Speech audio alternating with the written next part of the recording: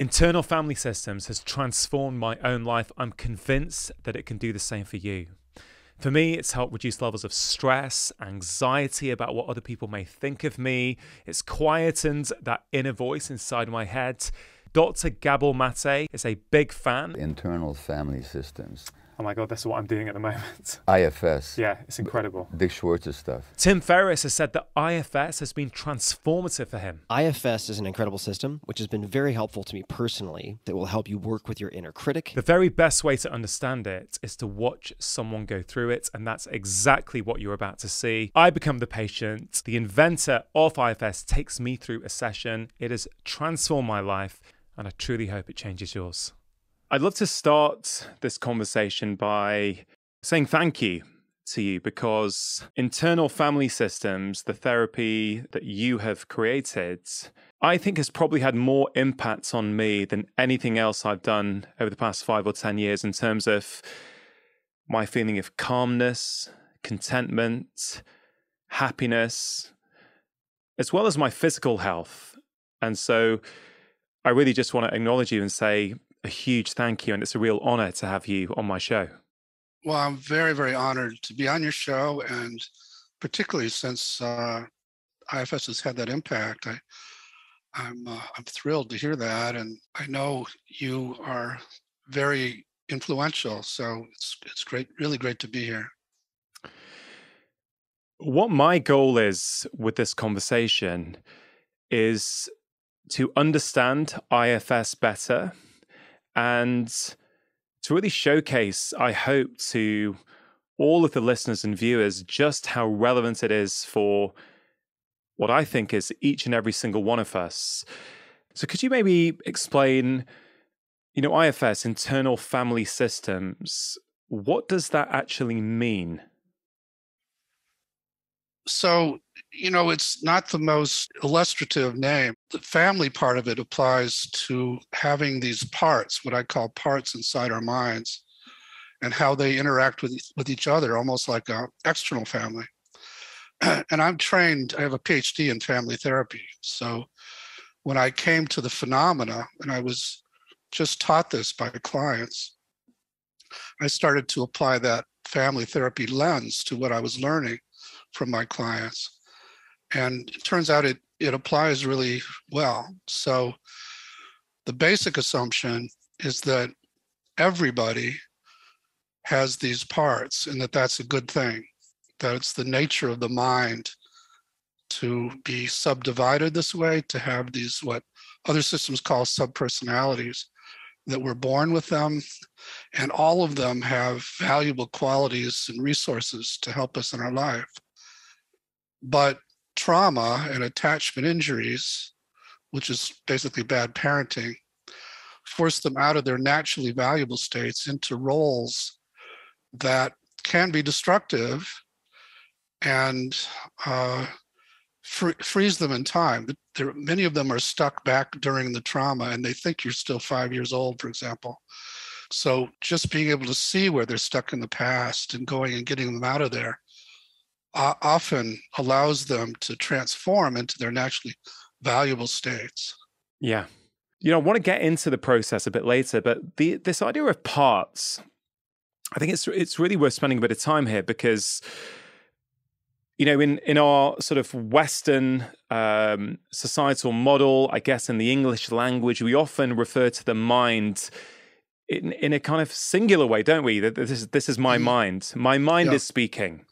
Right. And you beautifully in your work in all of these books just show that actually there's a multiplicity to the mind. There are lots of different minds within us.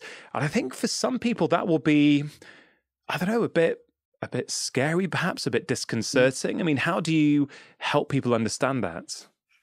Yeah, well, as you're alluding to, it's been a uphill battle to try and bring this perspective because culturally, we are oriented to think of ourselves as having one mind with different thoughts and emotions that emanate from it, but there's just really one of us.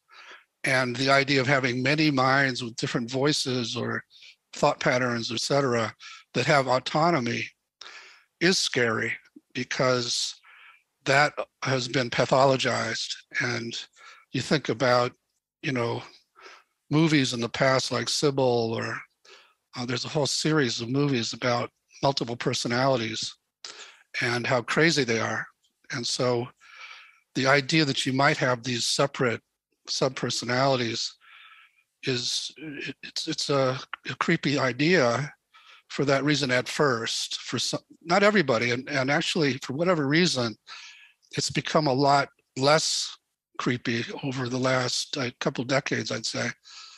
But still i get a lot of uh, pushback. Like aren't you are you creating uh, multiple personality disorder? Um, yeah. Yeah. Well, well, even that last thing you said, are we creating, sorry, are you creating multiple personality disorder? I think that really speaks to the kind of systems component of internal family systems that actually you're looking at these parts and how they relate to one another rather than that part in isolation. And in your latest book, there's a really beautiful section in the beginning when you talk about systems thinking. And I, am very passionate about this because I, I feel, as a medical doctor, that we have gone down the route of separating the body into discrete parts that actually yeah. don't speak to one another. And they you know, the, the heart problem goes to the cardiologist, the lung problem goes to the the lung specialist, the the stomach problem goes to the gastroenterologist. And you know, I I as a GP, a generalist, I, I can't you know, I've got so many cases I can think of where the patient would be referred to one of them and say, no, no, this is not your heart. Go back to your GP. You refer to another specialist. And th- this whole cycle goes on. Everyone's telling you what it's not rather than what it is and not sort of pulling it all together. And there was this bit of text in your last book, which I, I really like, where you mentioned, you say this, you mentioned that giving a troubled person a psychiatric diagnosis and seeing that as the sole or main cause of their symptoms was unnecessarily limiting, pathologizing, and could become self reinforcing. When you tell a person that they are sick and ignore the larger context in which their symptoms make sense, not only do you miss leverage points that could lead to transformation, but you also produce a passive patient who feels defective. And I thought that summed it up beautifully. Thank you. Yeah. Um, you know, family therapy's big insight was you can't take an acting out kid out of their family and just tell them to cut it out. You have to kind of see the context in which that acting out makes sense. And and uh, often there's various forms of dysfunction happening, and the the kid is reacting to that. And either to protect himself or to protect other members of the family is in some kind of extreme role in the family. And so we learned as family therapists to reorganize the family and free up the kid to be who he's really designed to be. The same thing I found true for these parts, which is partly why I call it internal family systems, that these parts are forced into these roles and get stuck in the roles because of the dynamics of the inner family and can be freed from those roles, as you found.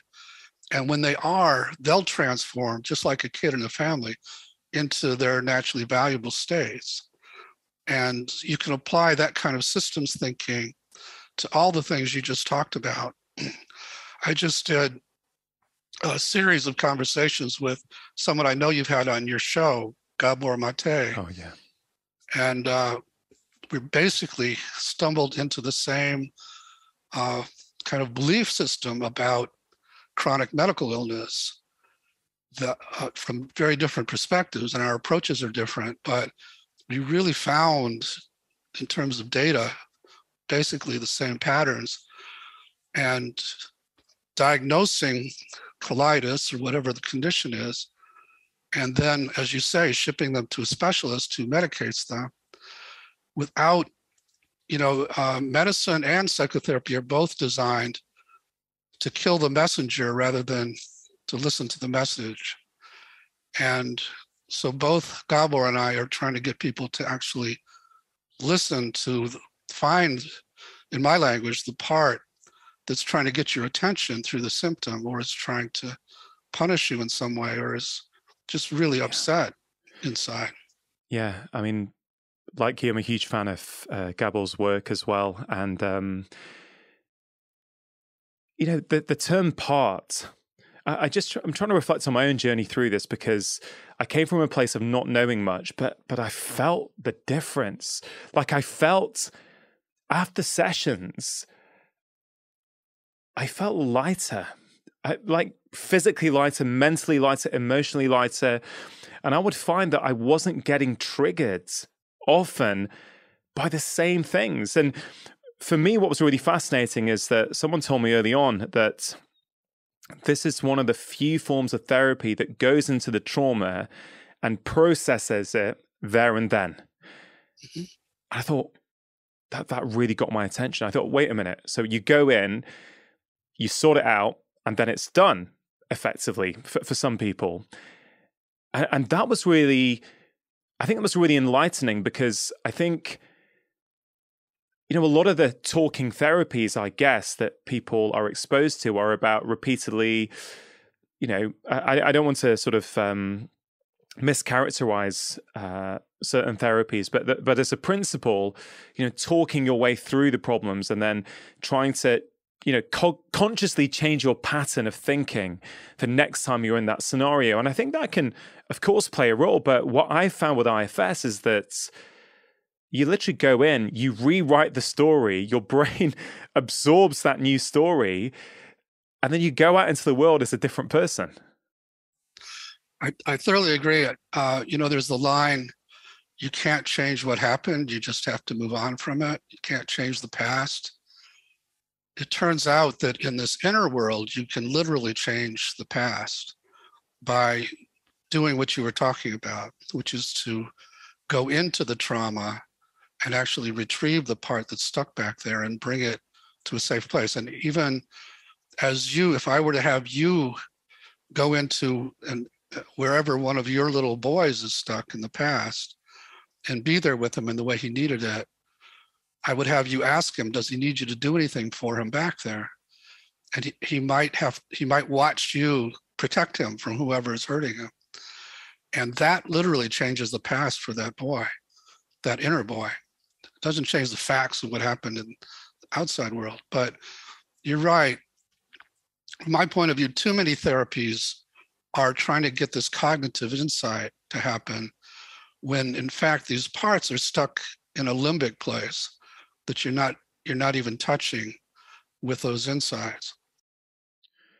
It was quite an incredible experience to you know, I've done, I've I've had many many IFS sessions, and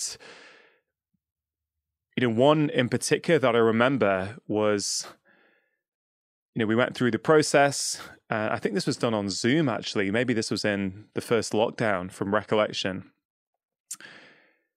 But you literally, in your mind, go back to a particular incident that you can then vividly see, and then I remember that the therapist helped me as my 40 year old self to go in and sit alongside, maybe next to the five year old little boy and see the situation. I was observing the situation first of all. I could see the interaction.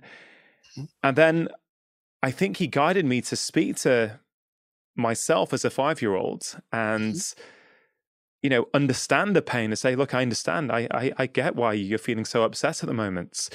Um, but then once we'd done it a few times in this session, I also then spoke to my mum, right? Mm-hmm. So this was a session where it was me and my mother. Mm-hmm.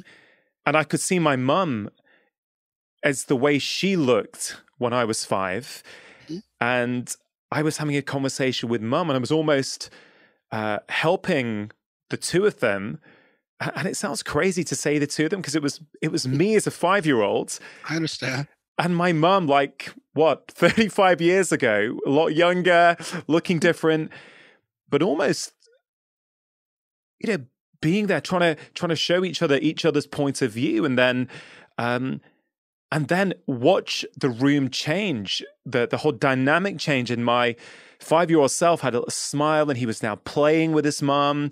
And then I check in a few times and say, Do you need anything more? And, you know, there's a whole process there, which, um, of course, we can talk about later perhaps. But it, I, I think what's incredible is that it feels like someone might think that's an inner sort of made up world.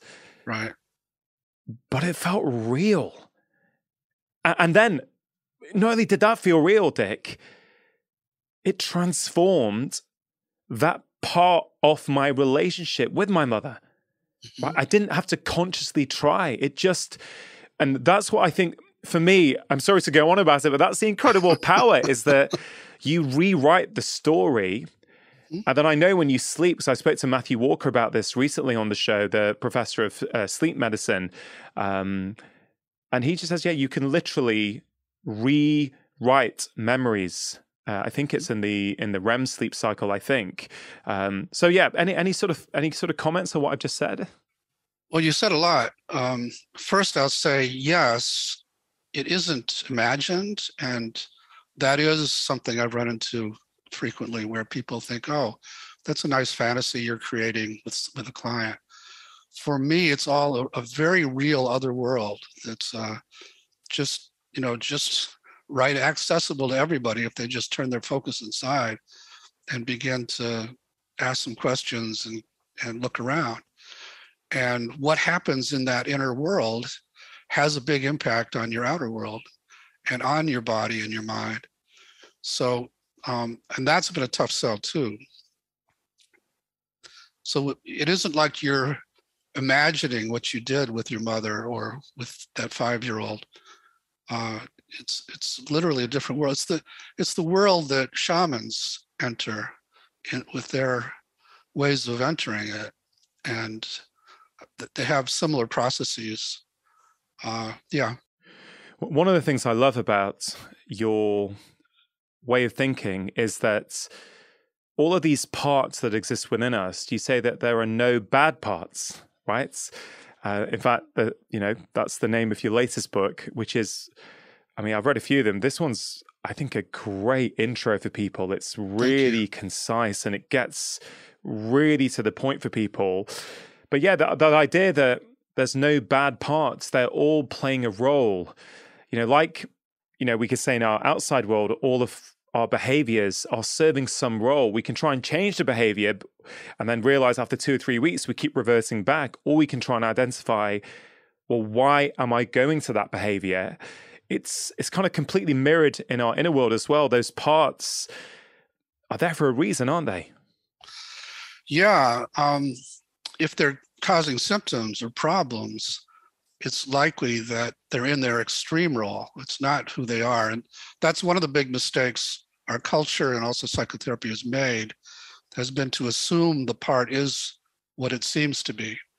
So this inner critic is just a bundle of uh, internalized parental voices, and the the binging addictive part is just uh, at, is just uh, an addiction, and so on and so on. And when you think of them that way, then you're going to want to either try to, your best to ignore them or to fight with them and wrestle them into submission or do something coercive with them. And that's what I was doing when I, my clients first started talking to me about their parts. I was trying to get them to stand up to the critic or or contain, contain the binge, and it was just making it worse. And at some point, I just decided uh, because it was not working at all, to ask what's going on. And I learned that that was a big mistake because they are these very valuable parts that are frozen in these traumas, get forced into these extreme roles, and think you're still five years old and think they still have to protect you in the way they did back then. And once they learn that you're not still five years old, which you can just tell them, that, and often they're shocked. And then once they they learn that there's this other person in there who can talk to them, what you called your 40 year old self, which I've come to call the self with a capital S. And this, this I think is the biggest contribution of IFS is that in addition to these parts, and especially when they relax in open space, there's this other person who emerges with the, basically the same qualities in everybody. And at some point, I decided to catalog the qualities of that person, and oddly enough, they all begin with the letter C.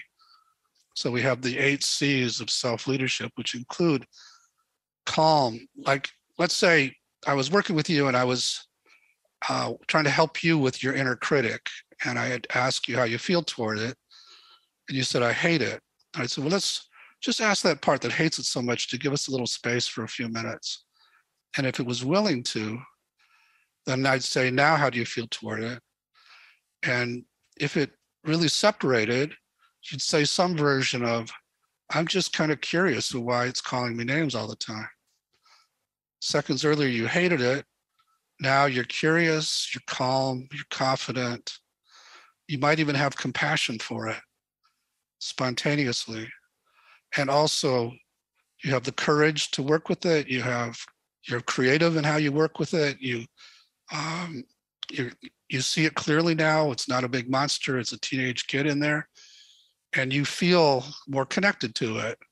You want to connect more to it.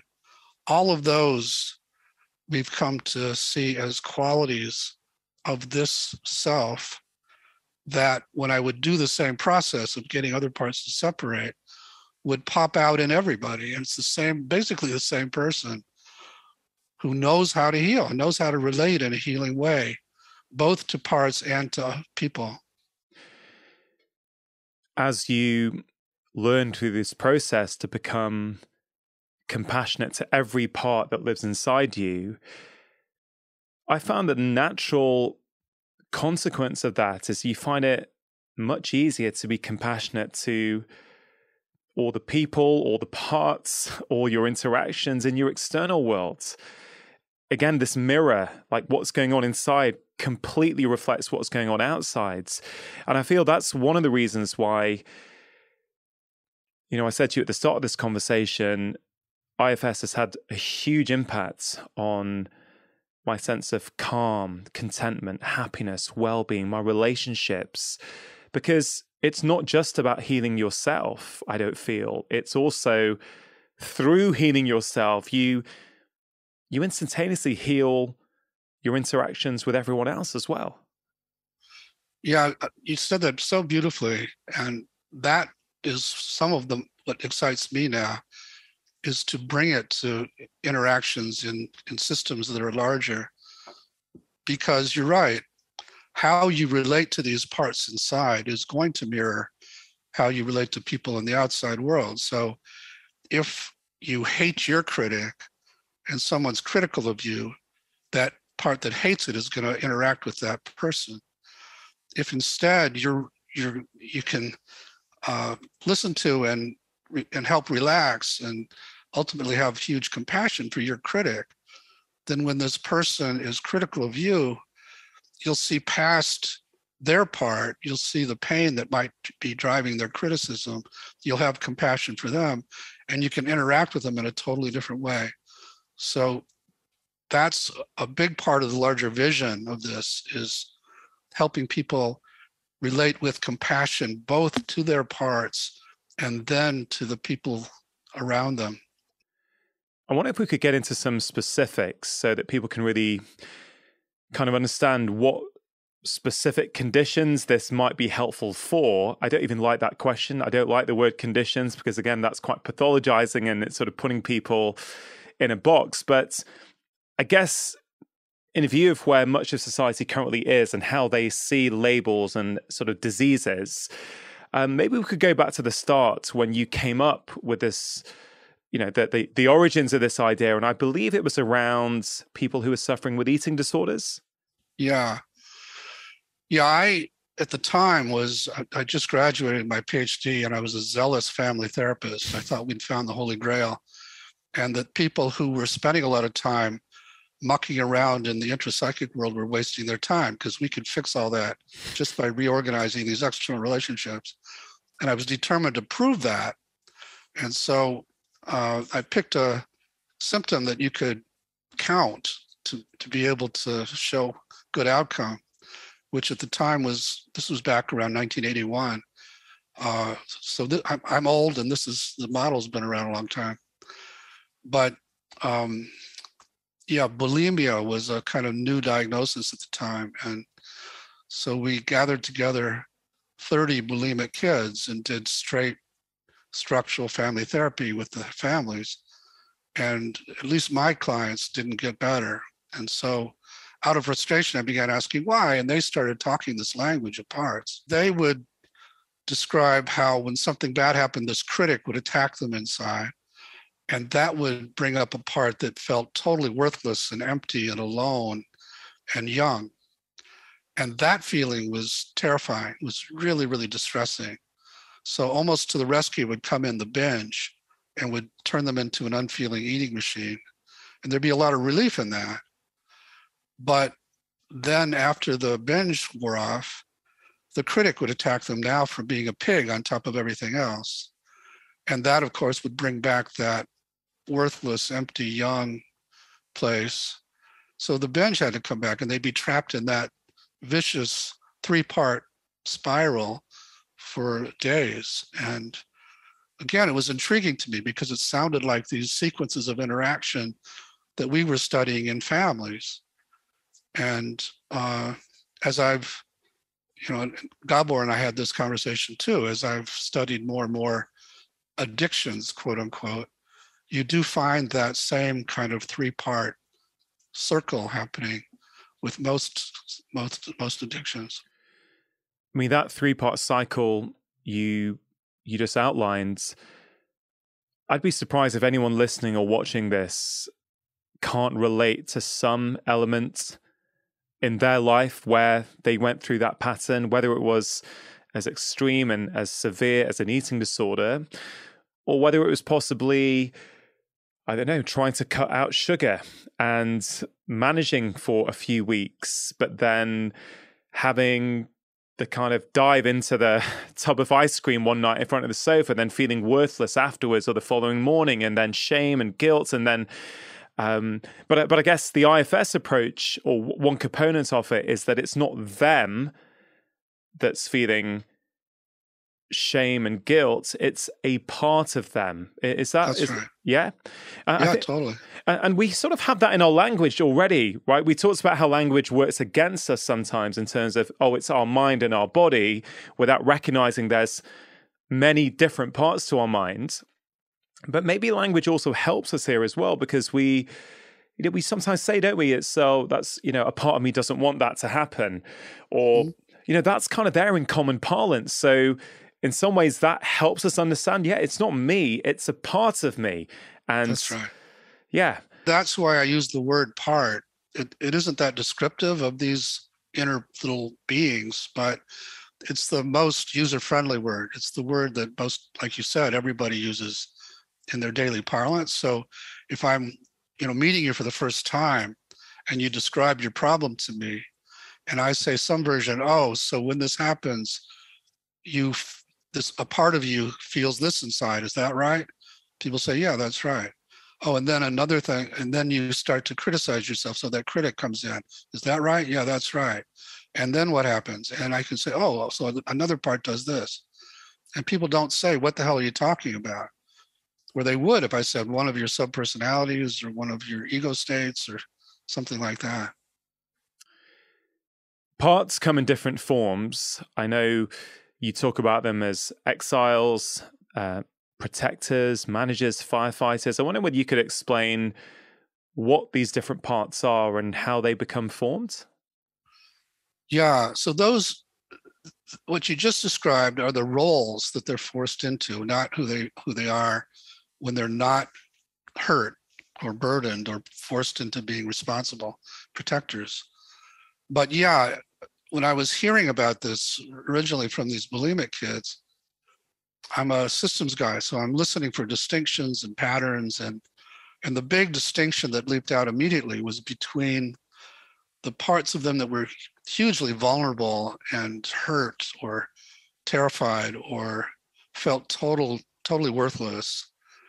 And then the parts that tried to keep all that locked away and protect protected clients so that that all that stuff never got triggered and was kept in a kind of inner basement all the time. And to go back to the the vulnerable parts so you've heard the term inner children before. These are these young very very vulnerable and sensitive parts of us who when they're not hurt give us all kinds of delight and creativity and joy and playfulness and so on but once they get hurt and again, they're the most sensitive parts of us, so they get hurt the most, or terrified, or shamed. They carry what I'm going to call the burden of of pain or or fear or worthlessness. It's like um, almost like during the trauma, the beliefs and emotions from the trauma enter the part almost like a virus and attach to the part and then drive the way it operates from that point on. And so parts contain burdens, but they aren't the burdens they carry. Those came into them from those experiences. So, yeah, the parts, so these exiled parts carry those particular burdens uh, from being rejected or abandoned or neglected or or actually physically abused and so on and after they get hurt, they leave, they shift from their delightful state. And now they have the power to make us feel all that sort of perpetually all the time. And they're frozen in time, like I say, in the trauma, and they can pull us back into that those scenes. And so we sort of naturally, and then our culture, at least in the US, this being a rugged individualist culture, we are told to lock all that away and just move on. Don't look back. You can't change what happened. Just move on. And in doing that, you're moving away from, you're exiling these very precious, young, vulnerable parts of us simply because they got hurt and they carry those burdens. And when you get a lot of exiles, you feel a lot more delicate and the world seems a lot more dangerous because so many things could trigger them. And when they get triggered, it's like these flames of emotion explode from those basements and threaten to make it so you can't function or make it so you're, you're just constantly feeling their feelings. What, what do those flames look like? Is that anger? Is that rage? Is that a blazing row with your partner? What, what does that look like? Yeah. So um, the the flames that the survivors of abuse that I studied for so long are most afraid of are much more emotional pain and terror and shame. That's what gets locked up first. Then the protectors go into rage, uh, and then they become scary too. So they become what I call protectors in exile. So you wind up locking up not just these vulnerable parts, but also the parts that get extreme in their their fury to try and protect you, uh, and and then you also try to lock up the other parts that are just trying to keep you higher than those flames of emotion uh, that we call firefighters that often tend to to lean toward addictions and things like that, toward things that can counter all this pain or shame or terror and get you higher than those flames. So yeah, so when you get a lot of exiles, other parts are forced into roles we call protectors. And some of them are trying to manage your life so that nothing touches those exiles. They'll manage your relationships so that no one gets close enough to hurt them, or they'll manage your appearance so that people don't reject you, or they'll manage your performance so that you get a lot of accolades. Uh, and so they're constantly thinking and managing and worrying. And uh, so most of us are very familiar with those because they run our lives.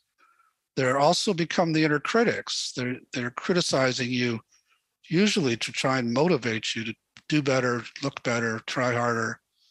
But sometimes they criticize you to run down your confidence so that you don't take any risks and you stay small and hide your hide your uh, power. And there's a whole variety of what we call manager protective roles. Uh, I just mentioned a few of them, but women in particular are socialized to have these massive caretaking parts that don't let them take care of themselves, which often leads, and Gabor and I both agree, often leads to physical symptoms. That's often what's behind physical symptoms, um, medical symptoms. And so those are manager parts. Again, what they have in common is they're trying to control everything, often are trying to please everybody, and they are just trying to keep the exiles contained and and not triggered.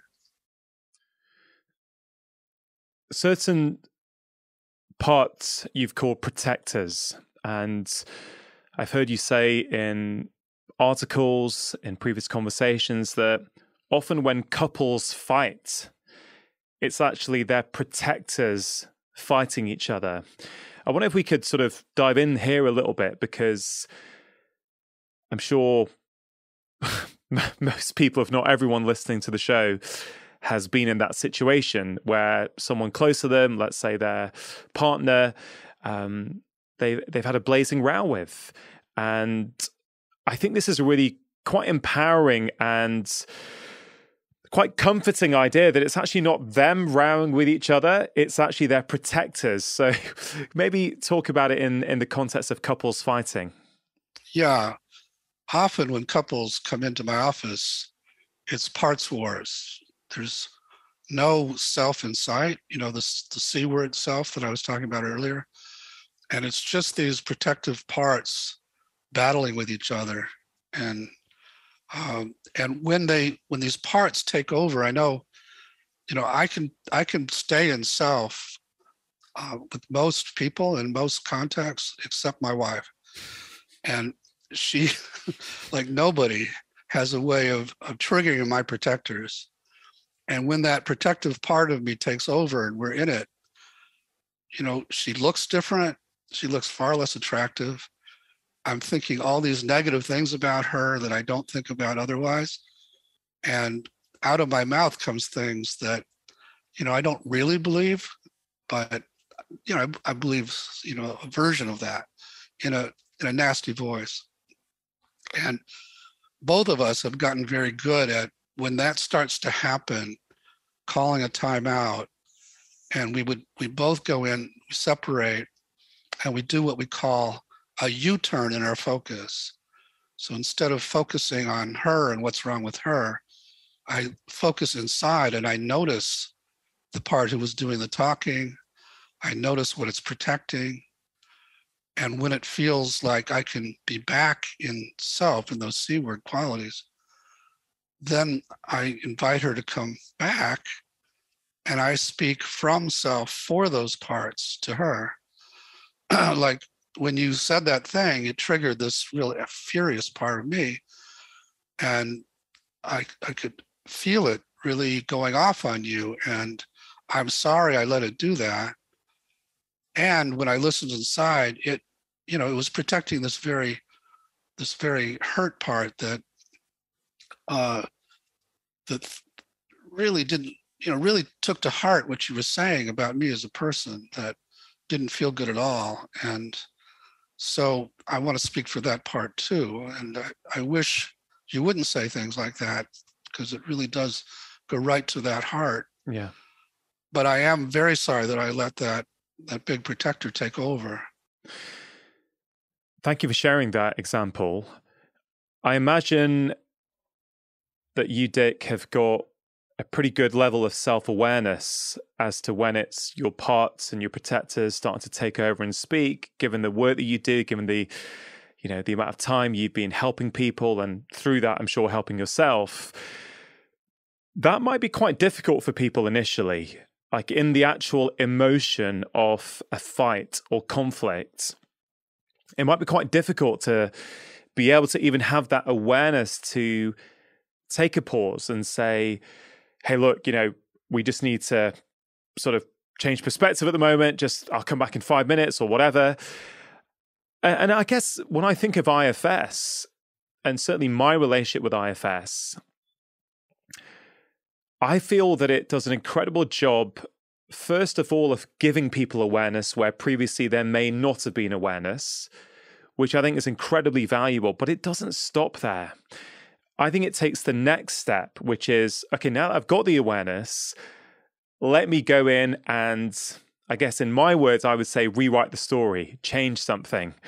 Mm-hmm. Whereas not all therapies, in my experience, do that. So let's go back to couples for a second. Um, anyone who's hearing this who might be thinking, yeah, that happens with my husband or my wife or my partner. Um, is there anything practical they can think about doing in that moment? The moment when a protector takes over? Yeah. Um, get away from get away from your partner.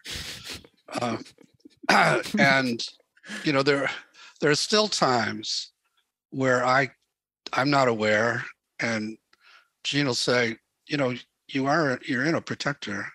I say, no, I'm not. No. and still I'll listen to her and I'll separate and I'll find out, oh, she's right, you know. Yeah. Uh, even though I don't want to admit it. Um, but yeah, it's challenging. It takes a while before you you get the hang of it. And there is a very physical, like I could do an ex- exercise with you or with your audience. Yeah, sure. Where you would really feel the physical difference between a protector and what I'm calling self. Let's do it. Yeah, I, I'd be up for that. Okay. All right. So think of somebody in your life that uh, triggers you. And uh, you don't have to disclose who it is, but you can if you want. Kind of consistently gets your goat.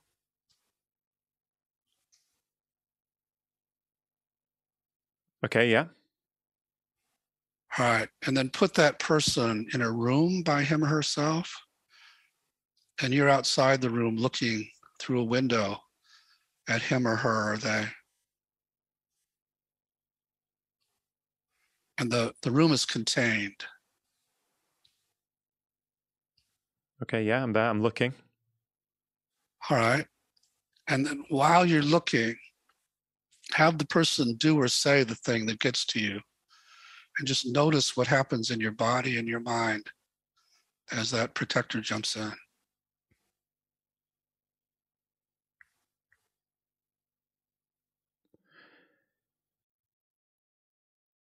I felt just a general sort of tightness and tightening up in my body and my mind, uh, a frustration. Um, yeah, those those are the things that I initially felt. Yeah. So so you're noticing your muscles and you're frustrated in your mind. Yeah. Also check and see how open your heart is now. I also felt my heart rate going up actually, which I didn't uh-huh. say. As soon as you s- said it before, I felt I could really feel my heart and it going up. So yeah. um, I would definitely say it does not feel open. Yeah. And what kind of urges or impulses are coming as you see the person doing this?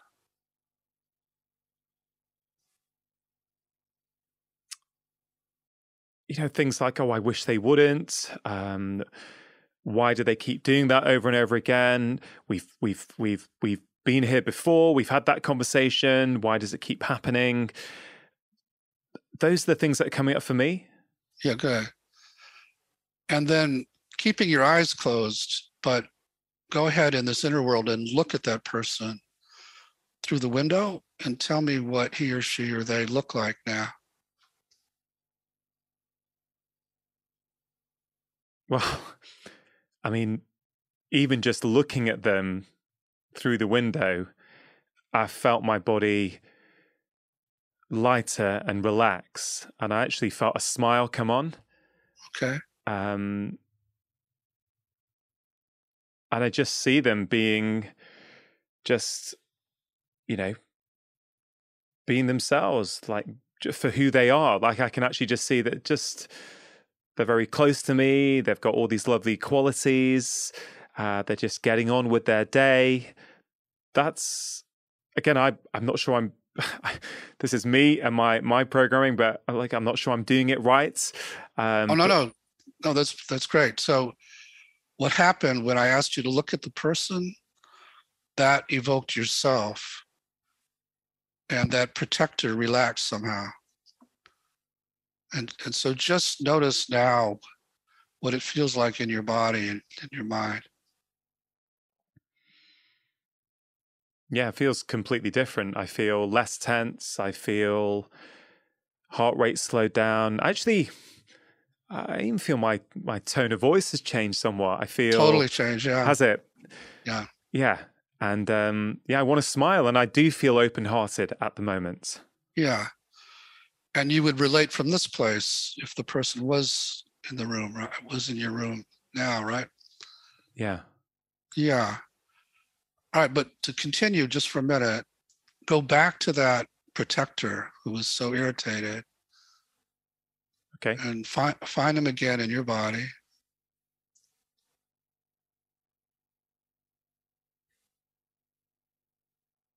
Yeah. And how do you feel toward them as you notice them there?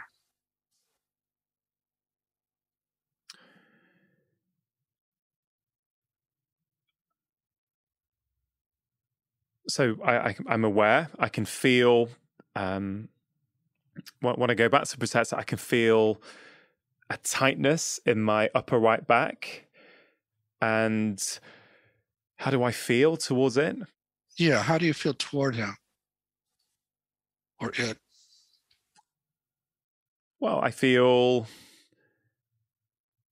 I guess I feel a separation first, first, first of all, a separation in the sense that, oh, I can see that that is just a part that's kind uh-huh. of sitting there.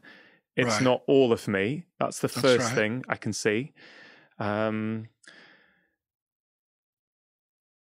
I guess I want to say I feel compassion towards it, but I don't in this moment. No, I don't no, think. No, I, just be totally honest. Yeah. Yeah, I don't. So what do you feel? Probably a frustration that it's there. Yeah, of course. Okay. But we are going to ask the one who's frustrated with the angry one if it would give us the space to help it and get to know it a little bit. And just see if the one who's so frustrated would be willing to open some space and separate a little bit yeah, is willing to step away. Okay. And then focus on the irritated guy again and notice how you feel toward him now. Well, as the frustrated part uh, stepped away, I actually just felt that area ease off. Uh-huh. Literally instantaneously. Right. And, uh, you know, it still surprises me when, you know when that happens but it, but it really just happened immediately i just didn't feel that tightness as soon as it um, happily stepped away and perhaps could that because i've done some of this work before and so no, a lot of times people can do it this readily so. Okay so it steps but, away i feel lighter. And how do you, how do you feel toward the original protector now? Yeah i feel I feel okay towards it. I feel, oh, okay, it was, it was there. It was trying to do something. I, I feel it. It's in the word, right? But I, I feel it was trying to protect me, uh-huh. and mm-hmm. I'm actually quite thankful. It's like, okay, cool. You were, uh, you're trying to protect me, but you you don't need to. But mm-hmm. I see what you were trying to do. So yeah, t- say those words to him, and just see how he reacts to getting that appreciation.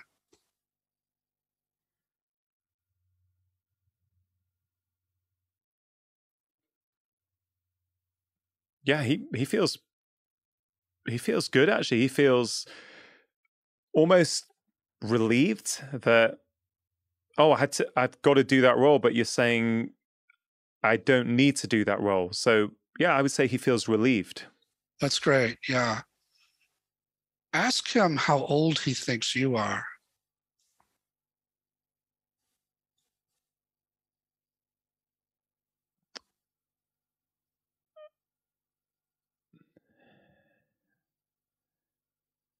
He thinks I mean, you know, sometimes I find you just have to trust here because sometimes I'm like, well, is it my mind imagining this or is this right, right. really happening? But what I what I think, uh, what I feel, he thinks I am is five years old. Right. So let him know you're older than that, and just see how he reacts to that information. Yeah. Um, again, I, I, I think it's relief that. Yeah. Yeah. yeah. So let him know you can handle a lot more than you could when you were five, and that he doesn't need to keep protecting you this way from people like the one in the room. You can deal with these people. Yeah. And see if he's starting to trust that more yeah, I feel that that part is happy to to stand aside, and that that word relief keeps coming up. That good, good. Hey, yeah, that's I don't need to. It's quite a tiring role. I don't need to do it anymore. That's right. And ask him if he really came to trust that. What might he like to do inside of you instead of this uh, being this irritated guy? He could do anything he wanted. I, I think he just wants to hang out and and uh-huh. and sort of relax and relax and chill and sort of accompany me along my life and see what I'm doing. That's certainly that's what I'm feeling. So let him know that that's his new role if he wants it. Okay. Um, does this feel like enough? Because we could keep going, but what do you think?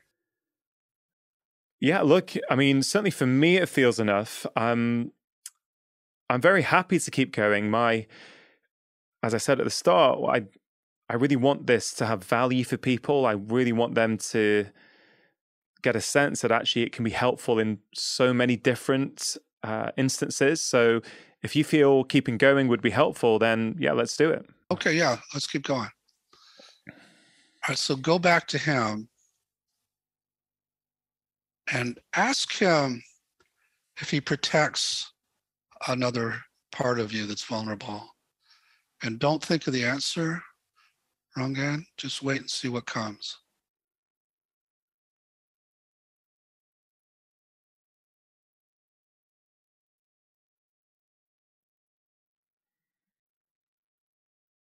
Well, he's saying he's protecting the five year old me.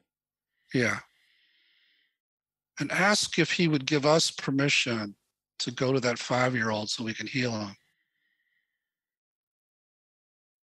Yeah, he says, yeah.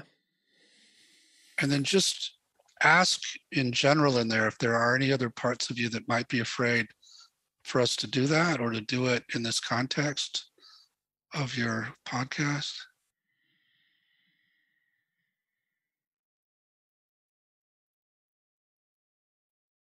So the part that's presenting itself at the moment is will this be useful for anyone? Will anyone think this is helpful for me or will they think you know yeah. what are you doing? So that's that's so, the part so that's coming up. let's just see if he'll give us some space even uh, you know i strongly suspect it'll be very helpful but just ask him to trust you and me for a minute and to step back in there. Okay. Yeah, he stepped back. Any other fears about going to the five year old? No. I'm quite sort of looking forward to it actually. Okay. Then go ahead and focus on him and find him in your body or around your body.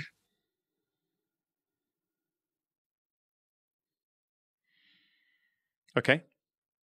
Where do you find him? I mean, I think I find him around the stomach area.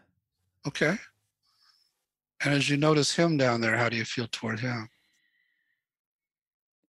Yeah, like love. Good. And I feel So I'm him- breathing more deep as I focus on the stomach area. I feel instantaneously I'm just breathing more into it and I'm breathing more deeply and more slowly. Perfect. And let him know that you love him and just see how he reacts. Yeah, he's got a big smile on his face. Good. And how close would you say you are to him in there in terms of meters away? So I'm about one and a half to two meters away from him. Okay, good. Yeah, so you're pretty close. So let's just ask what he wants you to know about himself. And don't think of the answer, just wait and see what he says to you.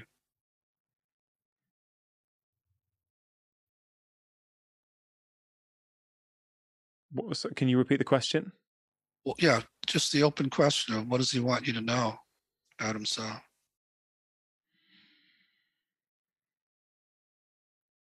He's saying um, he wants me to know that he wants to be loved.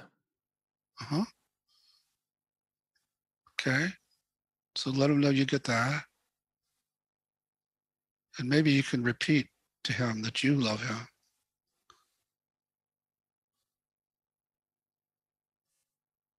And see if that feels good or it's not enough or he wants somebody else.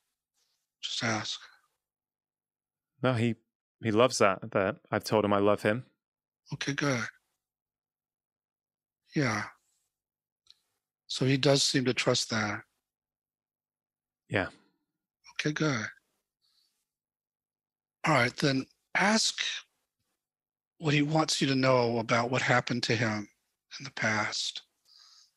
And again, don't think, just wait and see what comes. And you don't have to share it if you don't feel like it.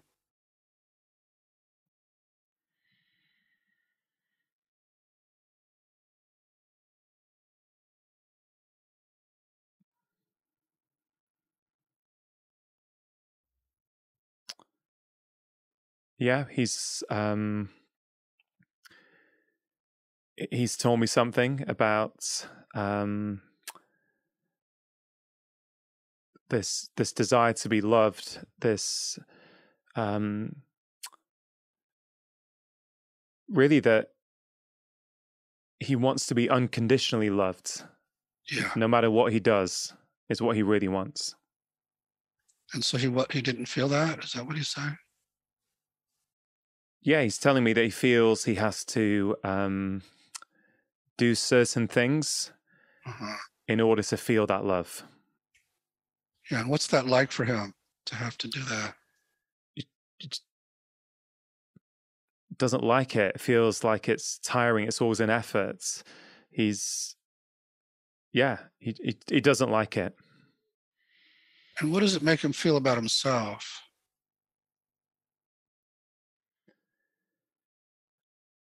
It makes him feel that um,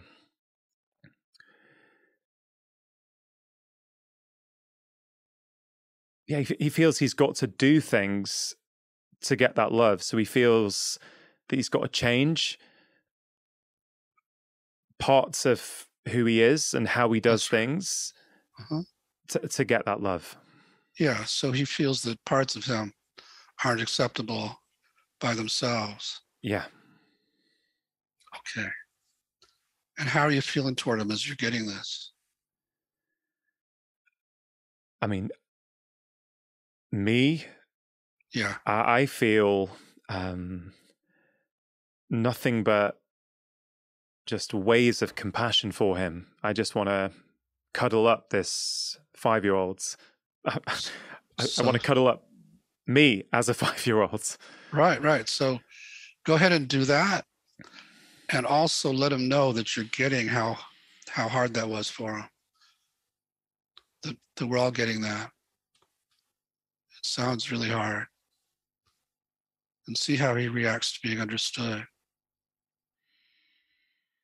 Yeah, he's got got a smile on his face because he knows that I'm there to be there for him and support him, and I I think he kind of really likes it that I'm there.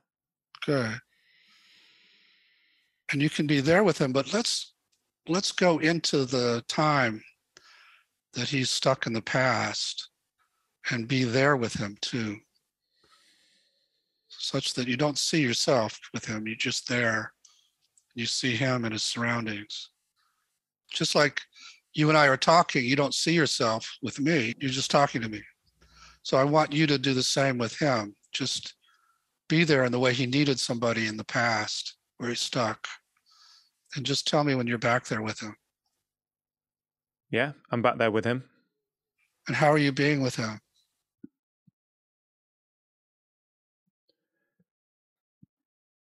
I'm uh, I'm trying to have fun with him. Uh, Uh-huh. I've got smiles on my face. Mhm. Uh, I want to. I'm trying to show him that he is loved and that he doesn't need to change who he is. So I'm, yeah, I'm trying to just radiate uh, warmth and uh, and love towards him. Perfect. And he seems to be uh, trusting that. Yeah, he's um, he's just giggling now and uh, laughing and like Mhm. I I can see him beckoning me over to sort of play with him. Good. And then ask him if there's anything he wants you to do for him back there before we take him to a good place. Is there anybody he wants you to say something to or deal with for him? Uh, yeah, he does. He wants me to um, have a chat to, you know, other people there who he feels don't understand. Yeah.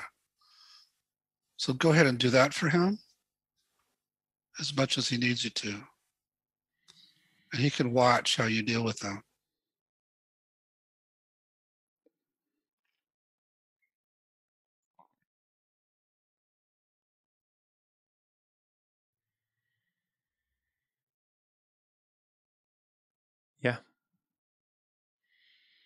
He's seen me have a conversation, explain um, how he's feeling, Uh-huh. and you know he's he can see that I'm explaining it very non-confrontationally, very kindly, just trying to Mhm. share a different perspective, and he's kind of nodding at me. He if he, he likes the fact that I'm I'm doing this for him. Yeah, I was just going to ask how he's he's liking watching you do this for him. Sounds like he is liking it. Yeah. Okay. Then ask if now he's ready to leave that time and place and come either to the present with you or to a fantasy place of his choice. Yeah, he'd like to go to just go and do something fun together in a different place. Okay. So go ahead and set that up.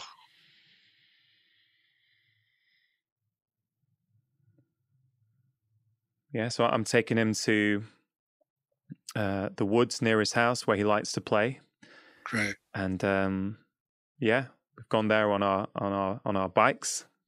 Good. And so tell him you're going to be taking care of him now this way. And given that, ask if he's ready now to unload the feelings and beliefs he got back there. Yeah, he's ready. And ask where he carries all that in his body or on his body.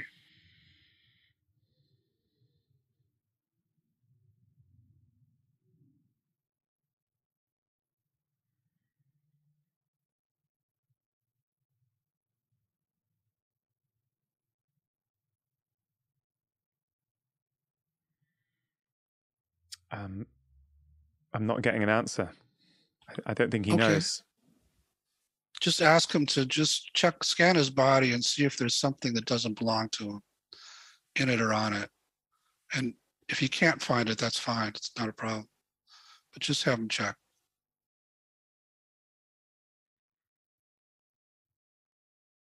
Yeah, he says it's in his stomach. Okay. And what would he like to give it up to? Light, water, fire, wind, earth, or anything else?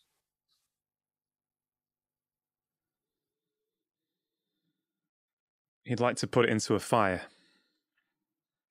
So maybe set up a fire for him and tell him to take all that out of his stomach and let the fire take care of it. And just do that until it's all gone.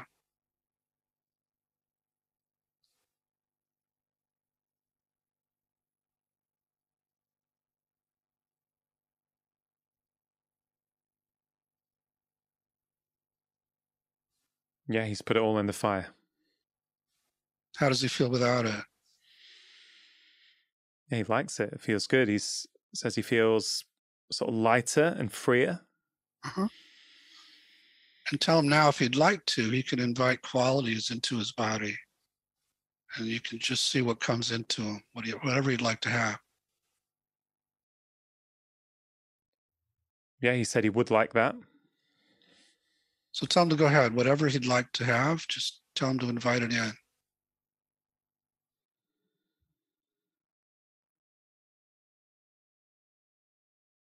Yeah, he's invited it in. How's he seem now? Yeah, he feels he he seems good. He's um smiling. He's um yeah, he's sort of kind of moving around, sort of playing around, um, looking around in the woods. Yeah. Okay, good. And let's invite the guy who was protecting him to come and see him now and just see how that part reacts.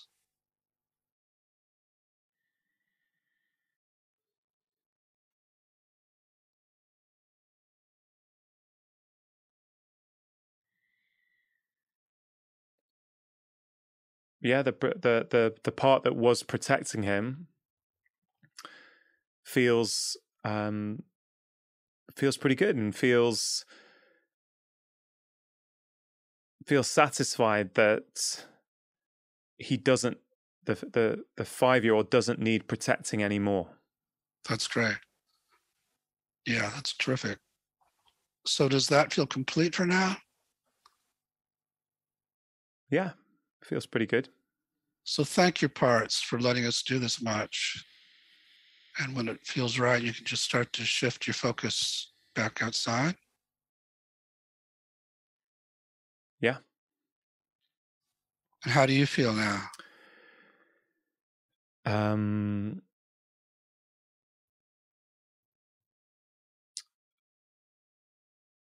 I, I feel good actually. Um I feel free in my body.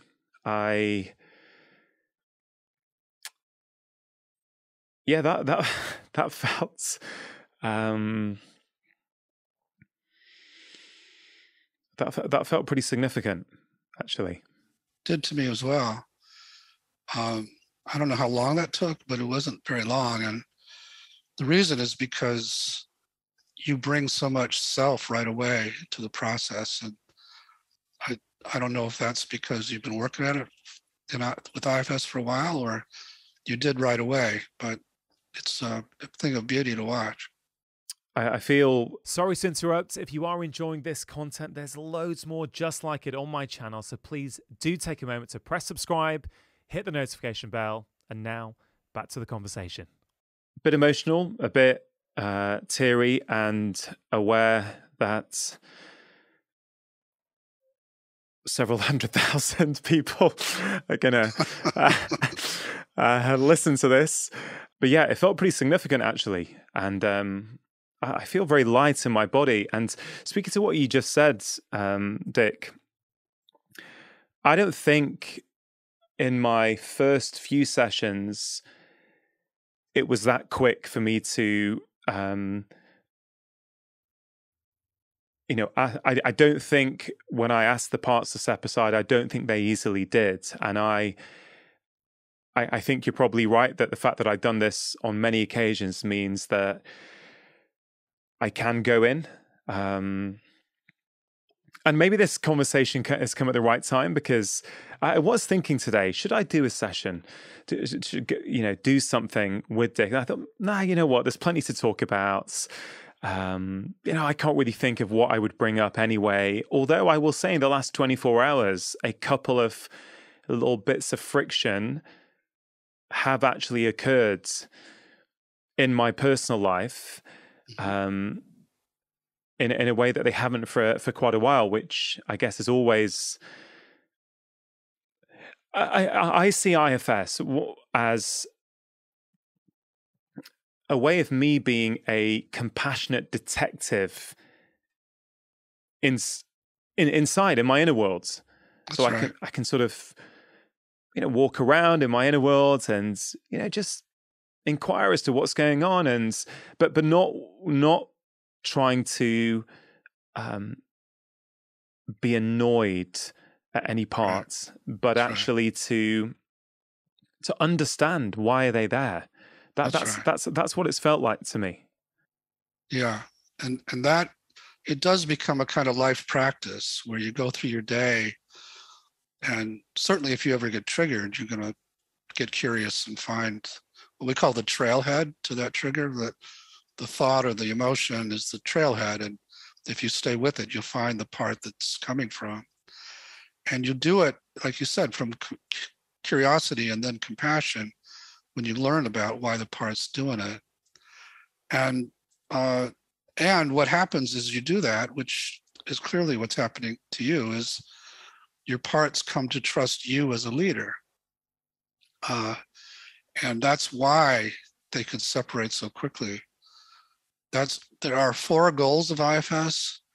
The first one is the liberation of these parts from the roles they've been stuck in so they can be who they're designed to be, which we did do with that irritated guy and uh, also with the boy.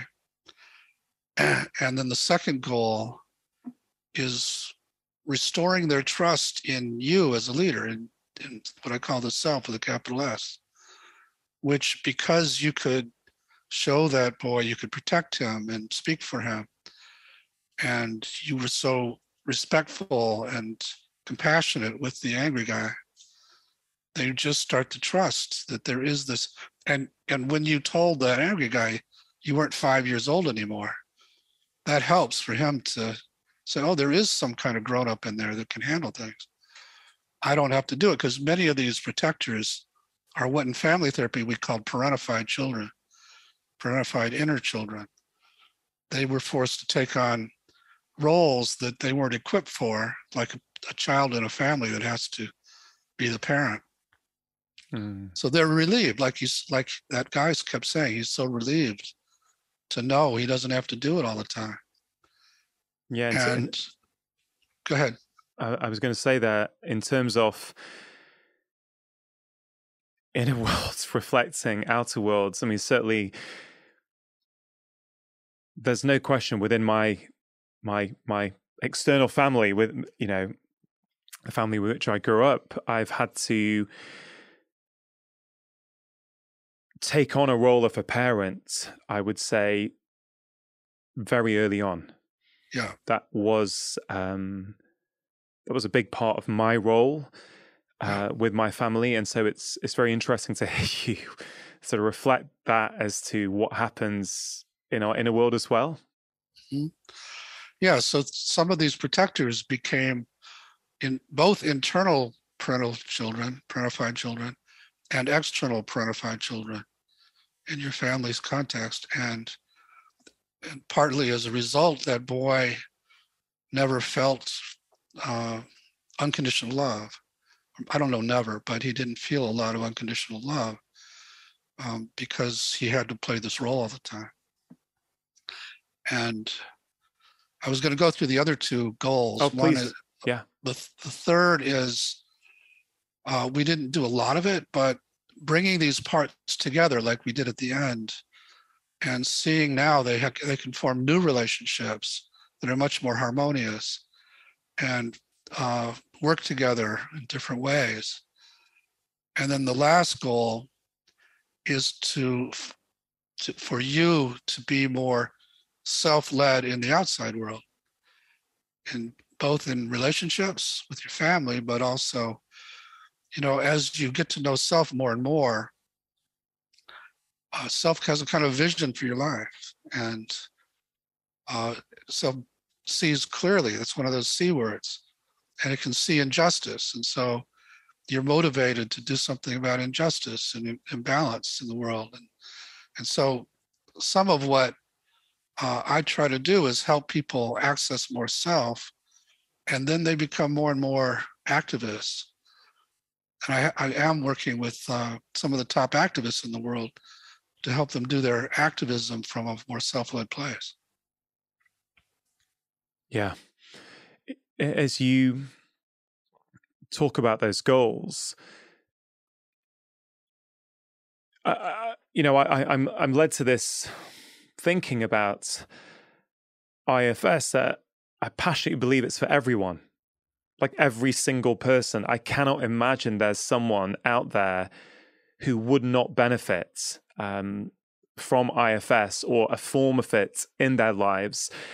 And I think, you know, sometimes I feel, I don't know if you ever feel this, Dick, that is it seen as a form of psychotherapy? And if it is seen as a form of psychotherapy, is that in some ways problematic in terms of expanding its reach? Because what I feel it's something that sits that you can use alongside other practices. You can use whatever religion you are, whatever your spiritual belief system is. You can still use this as a technique and as a framework for, you know, detecting what's going on in your inner world and changing it. But I think some people think therapy oh, that, that's for sick people. Oh, that's for people who've got depression or, you know, that they're really struggling. They need therapy. What what on earth do I need therapy for? Right. You're right. It is that is a problem as we try to expand our reach with it, uh, and we're playing with different ways to to frame it, uh, because now we are working with non-therapists and we are also trying to non-therapists like uh, coaches, executive coaches, and and uh, other kinds of professions, teachers, and uh, but also we're we're trying to to how can we bring this to the public in a safe way? Because it it is, as you saw, it can take you to delicate places quickly, and everybody's got a kind of delicate inner ecology that if you make a couple wrong moves could blow up. So that's the challenge now, and uh, I'm I'm convinced that there's a version of it that we can bring to the public in a safe way. Yeah. But uh, it's it's exciting for me to hear you catch the larger vision of it because I've ha- held that vision for many many years, basically by myself and now a number of people are starting to carry it with me yeah no it's it's so clear to me that it actually has universal application you know i i as i said i i went into it i didn't have a diagnosed you know and i'm saying this with inverted commas problem or a an official diagnosis no i had a i had a i had a body complaint and uh, the person i was seeing thought that this would be a good thing to explore but I could feel the difference. I could feel the power of it. And the drive for me, a lot of it was after my dad died. You know, I really wanted to understand myself better, understand my programming. Why did I think certain ways? Why did I make certain decisions in certain ways? Why did some people trigger me in certain ways and not others? And also becoming a parent, that was huge. Yeah. Because you know, you transform yourself, you you naturally automatically transform the way that you parent because otherwise right. you're just imprinting your kids with the same kind of adaptations that I developed that I'm trying to get rid of or or trying to reframe, let's put it in my 30s and 40s. Yeah. It's like, well, there's an opportunity here to not put that onto my kids. Um, yeah, I mean, to the point where I sometimes think, well, I bet you kids could intuitively get some of these concepts. Oh, that's not me. That's a part of me that just got angry. Have you got any experience of doing this with kids? Oh yeah, yeah. There's a lot of IFS therapists that are are child therapists, and they kids get it right away. They haven't been socialized away from the phenomena. So when you ask about one part, they'll tell you about three others. And with them, we use a lot of play therapy technique, younger kids. So draw your parts or puppets, or kids love it actually. So it's that's all very very fun, and and they have self. They they have the ability. You know, they can't drive a car, but they have the ability to heal themselves that way and, and be good inner parents to their exiles. So it's it's uh, very joyful to work with kids. One of the other benefits I I just like to share with people to to really again keep sort of highlighting how powerful I think it is is that I, have been thinking a lot, um, Dick, about this concept of personality over the last few months, and you know, for most of my life, my friends and my family would tell me I have an addictive personality. And there were various ways in which I would um, demonstrate that addiction. If I get into something, I'm all in. Um, and, you know, probably when I was at university in Edinburgh, you know, I used to like going to the casino or uh, gambling on a game of pool or frankly gambling on anything just for a bit of a bit of a buzz. Mm-hmm. Um, and I would do it quite a lot, but never to the point where you think this is a problem, let's say.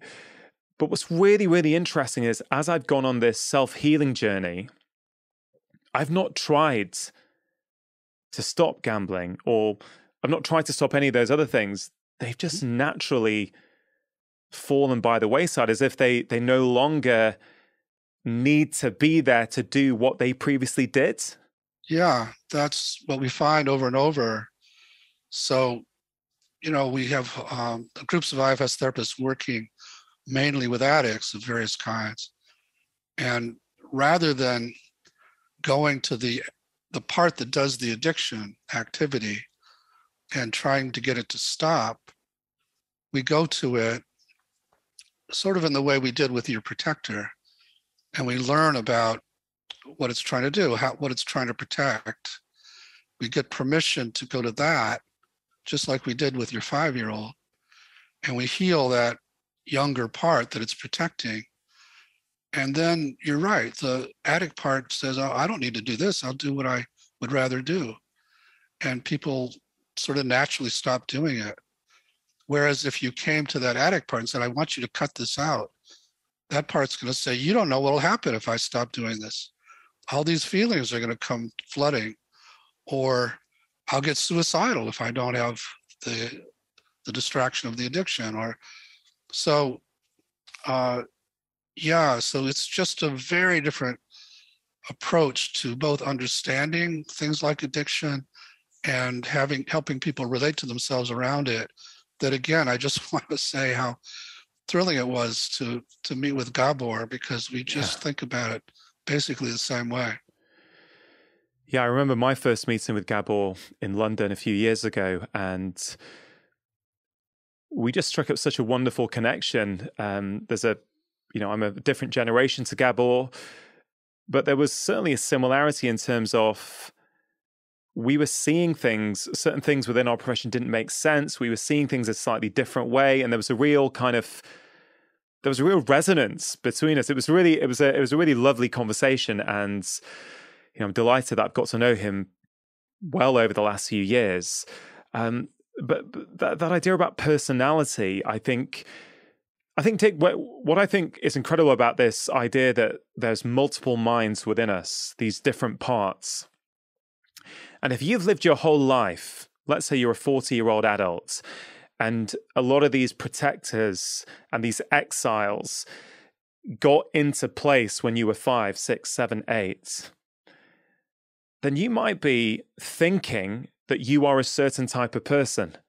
Like you think this is my personality, but what, what I've discovered is that when you make friends with these parts, make peace with them, and you know go through the process of realizing that there's no bad parts; they're all there. They're all trying to protect you.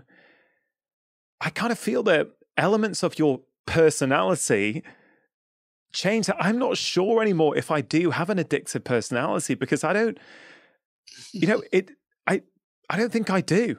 Like I think I did, and it played a role in my life. Right. Does that make sense to you? And is this something you've totally. seen with other people? Yeah, we see it over and over. You know, calling saying that you have an addictive personality is saying you have this one mind, like we were talking about earlier. Yeah. And it has this inclination. And you're kind of stuck, you're stuck with that. You know, that's who you are. Instead, saying, yeah, I've got this part who's trying to protect me by distracting or or getting the rush that you mentioned, the buzz, and it's trying to keep me away from these others. And it's a totally different understanding of yourself. And you start to relate inside with a lot more, uh, a lot less shame and a lot more compassion.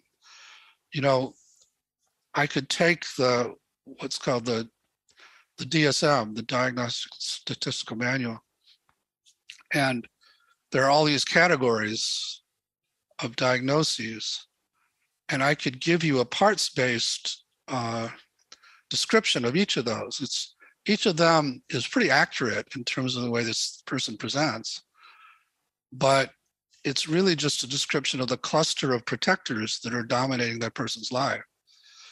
And as the person heals, then those parts relax and they're no longer fit that diagnosis.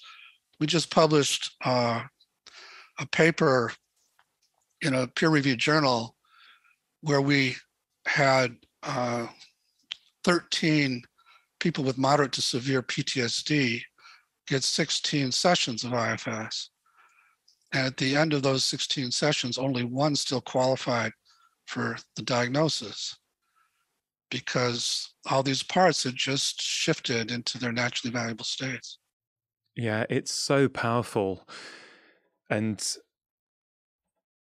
you know, the way we like to label you know patients in my instance clients in your instance i, I think is, is is potentially very problematic. On one hand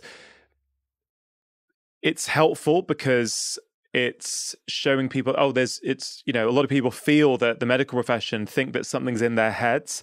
And so you know people like the validation no no this is not in my head. This is actually something That's right. That's and, right. and I totally get that but I do think also by putting these labels and, you know, badges on people, I think it can really become problematic. Some people then become, they really identify with that. That is who they are. I, you know, I have depression. That's why I feel like this. And maybe it's just subtly shifting the language, like in, I guess, in IFS language, you know, a part of me feels depressed at the moment. Would That's that, would that be accurate? Totally. Yeah. Yeah, and yeah. I, I don't use that language yet, although I probably will soon. but I would, I would say to a patient, look, you know, at the moment, you have got a few symptoms that are consistent with a diagnosis of depression, but that's just at the moment, right? Let's figure out what's causing that.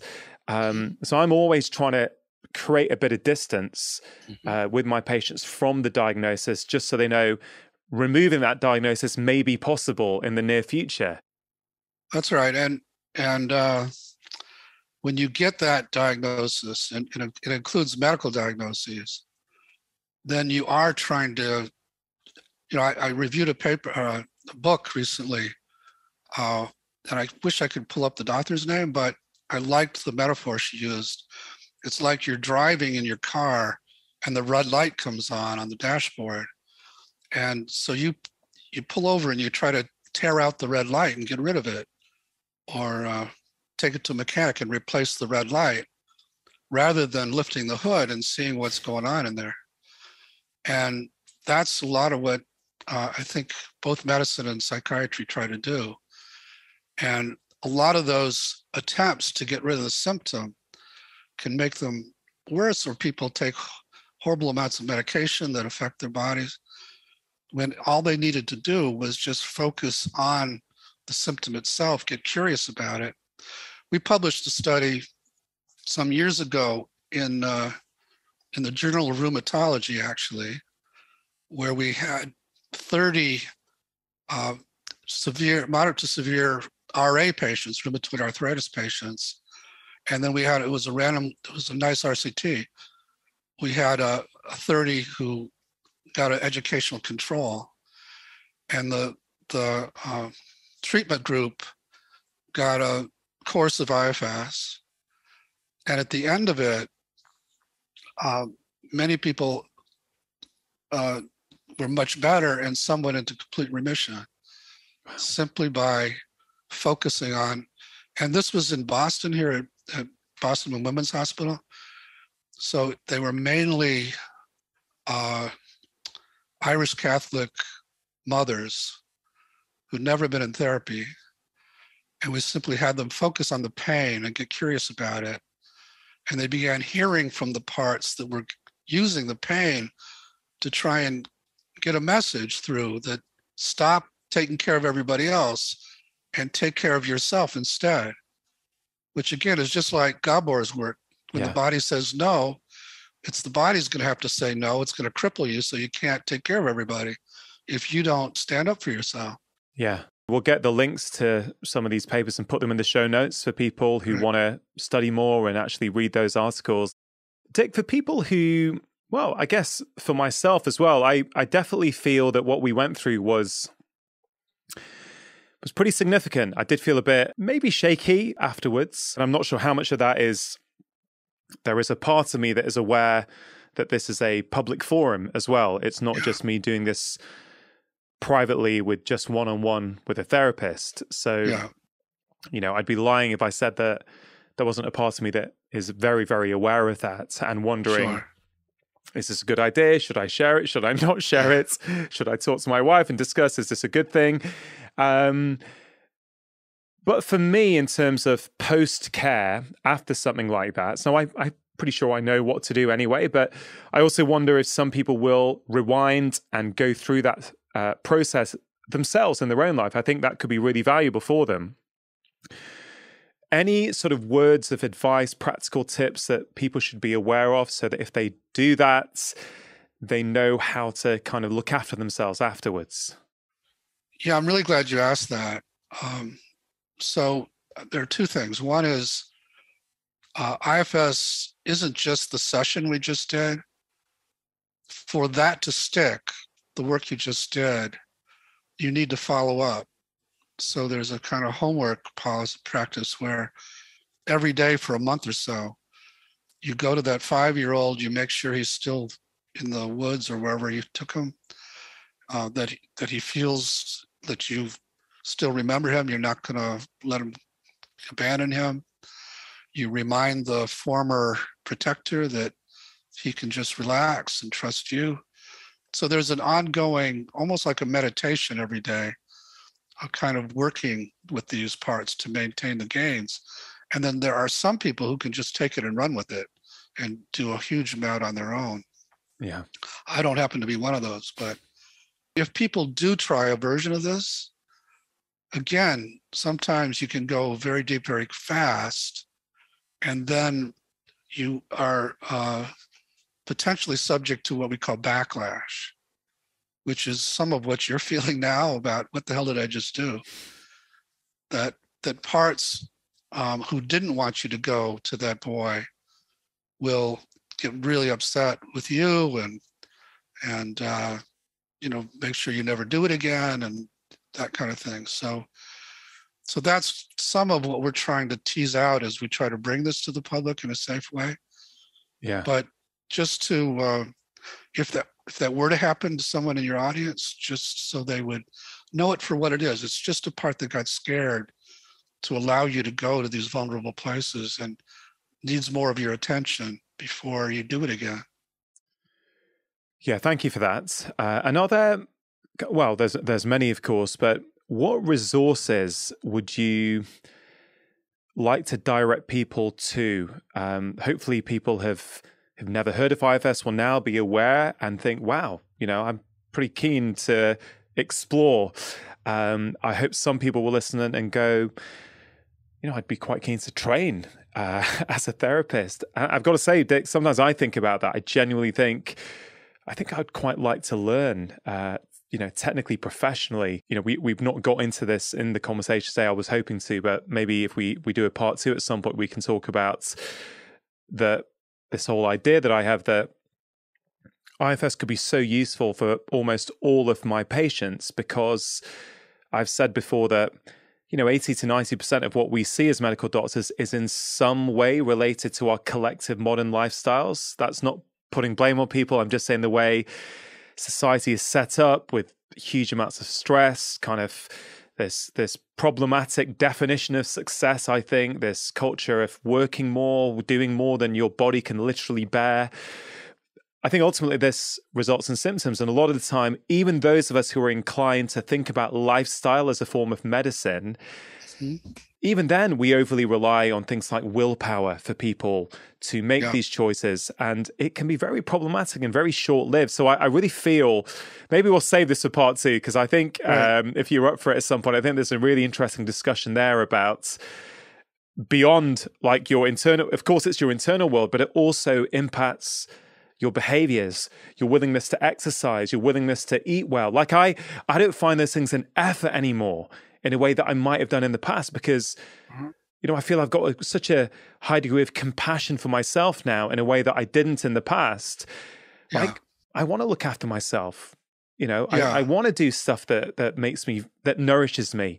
So I, have gone off on two separate things here. I was trying to say what resources um, well feel free to comment on any of that but also where can i point people to sure so i'll start with the willpower issue because that is the way we're socialized to deal with ourselves and if you don't want to exercise because you don't have willpower and so that builds up this sort of inner drill instructor who screams at you to do it or or overrides all the parts of you who don't want to and creates these inner polarizations that get bigger and bigger over time.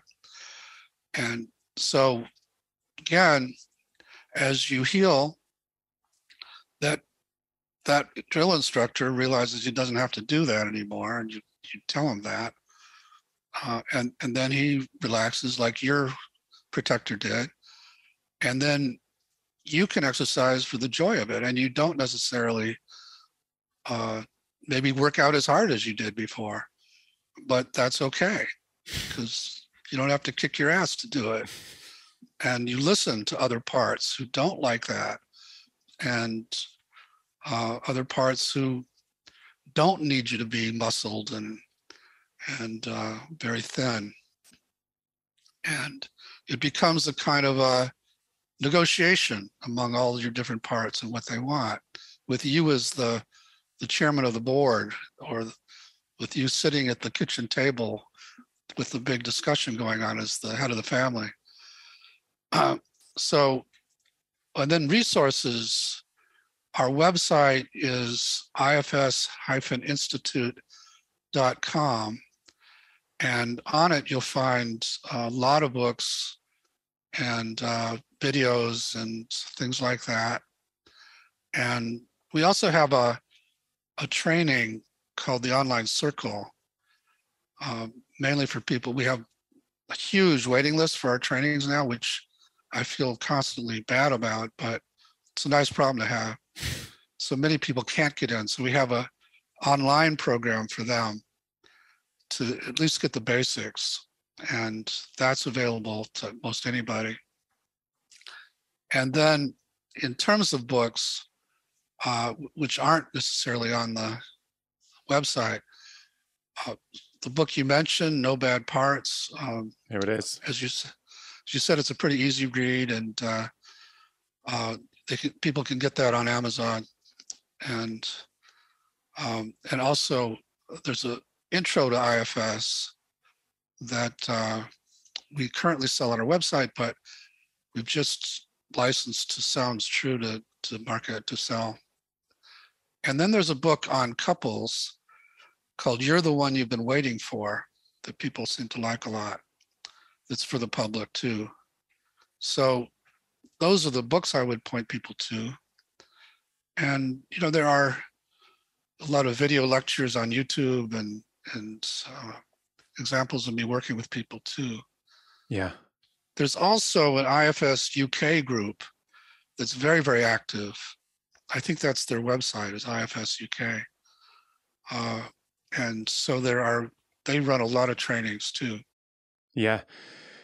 We're going to pick up all these links. Uh, I'll also drop them in the show notes section so that people who, you know, want to find out more either as a, you know, recipient of the therapy um, or as a practitioner, um, you know, I really want them to have places where they can go.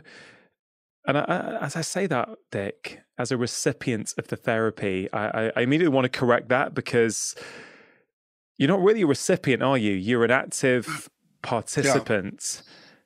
Yeah. Um, yeah. Yeah. When clients finish with me, they generally say some version of, You're a pretty good therapist, but I healed myself. and that's true. This is what's called attachment theory taken inside. Attachment theory is very influential and, and most much of it very accurate uh, about how kids do or don't attach to their caregivers. This is saying, let's get these these kid parts to attach to you yourself uh, and start to trust you as a caretaker and that really frees people up because so many relationship problems are caused because my exiles want to be taken care of by my wife. They don't they don't know they can get anything from me. And so they latch I, I'm not saying this is true now because I've worked with my exiles and they trust me, but for many people, your exiles want uh, to be taken care of in the way they weren't by your parents, by your partner, and that's an impossible task. And so your partner winds up hurting you in the same way. And then all your protectors go crazy. But if your exiles feel taken care of by you that frees your partner up. They, your partner can be the secondary caretaker not the primary.